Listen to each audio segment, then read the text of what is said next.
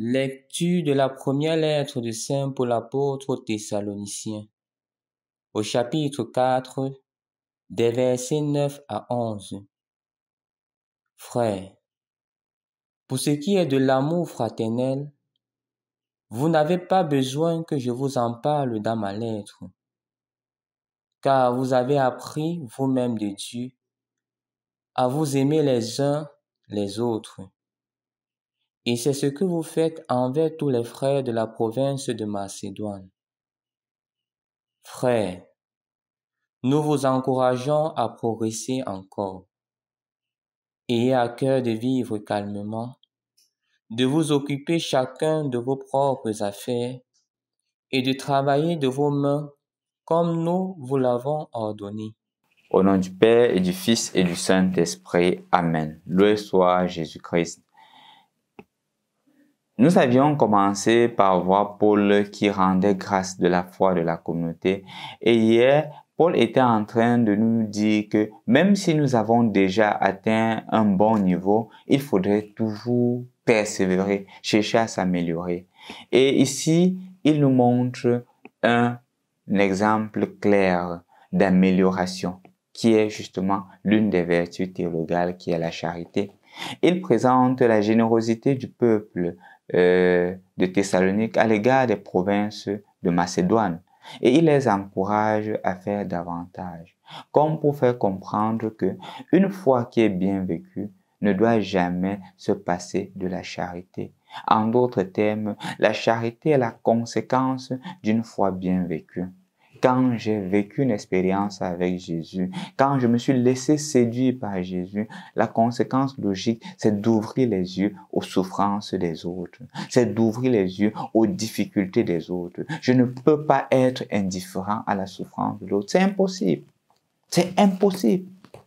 Je ne dis pas que c'est difficile, c'est impossible.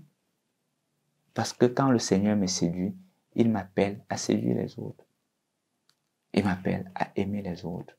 Et un exemple concret, c'est le peuple de Thessalonique. Quand ils se sont laissés séduire, ils se rendent compte qu'il y a d'autres communautés en difficulté. Ils se rendent compte qu'il y a d'autres personnes qui sont dans le besoin. Ils se rendent compte que l'évangile doit aller dans les autres endroits. Et qu'est-ce qu'ils font? Ils œuvrent, ils participent, ils contribuent pour que cet évangile atteigne les confins du monde. C'est ce qui s'est passé dans l'évangélisation dans beaucoup de pays où certains de nos frères du continent européen, certaines mamans même, qui économisaient leur argent pour aider les missionnaires de par le monde entier.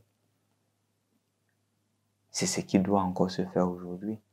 Quand nous nous rendons compte qu'il y a des communautés chrétiennes qui n'ont pas d'église, qui n'ont pas de communauté, que nous, comme communauté, nous œuvrions pour cela.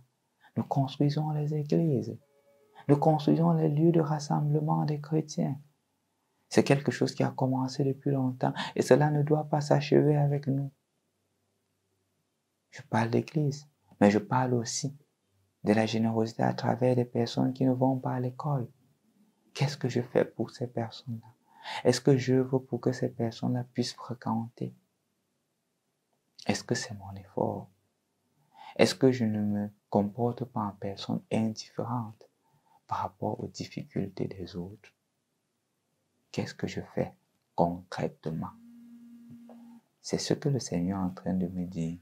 C'est ce que le Seigneur est en train de te dire aujourd'hui. Quelle œuvre de charité tu poses concrètement pour l'avancée de son règne? La rentrée approche. Tu peux t'engager à aider des enfants pour qu'ils aillent à l'école. Tu peux t'engager du point de vue spirituel, a dit que je fais un groupe de mouvement. Je m'engage par exemple à annoncer Jésus. Que tu prennes un engagement concret qui te permette de grandir dans la foi et de permettre aux autres de grandir dans la foi et de faire l'expérience de Jésus. Au nom du Père et du Fils et du Saint-Esprit. Amen.